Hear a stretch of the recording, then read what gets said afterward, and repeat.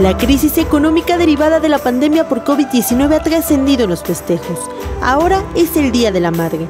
Esta situación afecta tanto a negocios como a consumidores. Tal es el caso de Leonides Chávez, encargada de una florería, quien comenta que el costo de su material días previos al 10 de mayo incrementó un 40%. Unos días antes de la fecha, sí está un poco caro el precio de la flor, se subió un 40%, pero pues sí, normalmente vamos a trabajar como con muchas ganas y para que saquemos la fecha adelante. Asimismo, los poblanos para este segundo año de celebración a las mamás en tiempos de emergencia sanitaria han optado por no regalar artículos materiales, sino por pasar tiempo en familia. Como Cristian, quien con la ayuda de sus hermanos está pensando en consentir a su mamá con una comida familiar e incluso está contemplando deleitarla con música.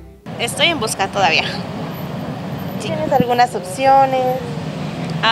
Una mini fiesta para mi mamá más en familia con mis hermanas. Yo creo como unos, contratar unos mariachis o algo, pero todavía estamos pensando en eso con mi familia. En el caso de Luis Rivera, como cada año, le llamará a su mamá por teléfono, la cual se encuentra en el extranjero y por medio de las palabras busca transmitirle su cariño y lo mucho que le extraña. Está en el extranjero, no me cuesta mucho para mandarle cosas, tarda mucho, no le llegaría a tiempo. Una llamada, yo creo nada más. ya. ¿Para este año será una llamada? años anteriores que las regalan? Igual, igual, yo tengo, tienen rato fuera de aquí. ¿Y qué es lo que le dices en las llamadas? Pues la felicito, la extraño mucho, quiero mucho, cosas así. Por su parte, Juan Manuel recientemente vivió la pérdida de algunos familiares a causa del virus, entre ellos su papá.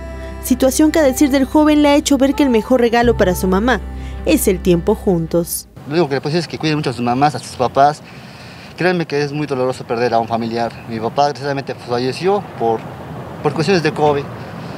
Y este, pues igual, mucha familia, bueno, en un mes se me fueron tres tíos, fue mi papá y mis dos tías. Entonces, fue algo muy doloroso para mi mamá igual, y ahorita pues ella está muy, muy deprimida, ahorita pues estoy con ella, ahorita pues pasando el mayor tiempo con ella, ahorita no hay tiempo para, para regalos, porque realmente mi mamá lo que quiere es tiempo para ella.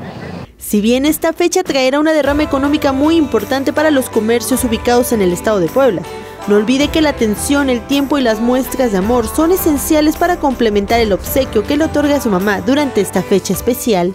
los materiales pues van y vienen, pero el decirle a tu mamá que la quieres, que la amas, que es todo en tu, en tu mundo, eso no tiene precio. Con imágenes de Roberto Valdés, Saraí Mancilla, Noti 13.